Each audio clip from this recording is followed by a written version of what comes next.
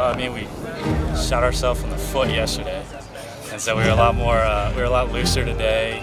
We got all the nerves out yesterday, you know, kind of the big spotlight, and then we realized that we just gotta just play our normal. I, I think we all played average today. and We see how much better it is. So. I think we all got off to a better start. An understatement. So that always helps. I wish we can get out of the box a little bit earlier, but you know, at least knowing the ability that we have a team that, you know, you put them in a in a stressful situation and they have to come back. Well, they, they make a rally and come back. Need to go low tomorrow.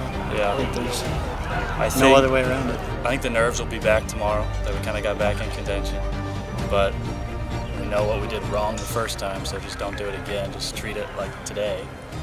And I think if we get three, four guys play good, we can come scraping up that leaderboard.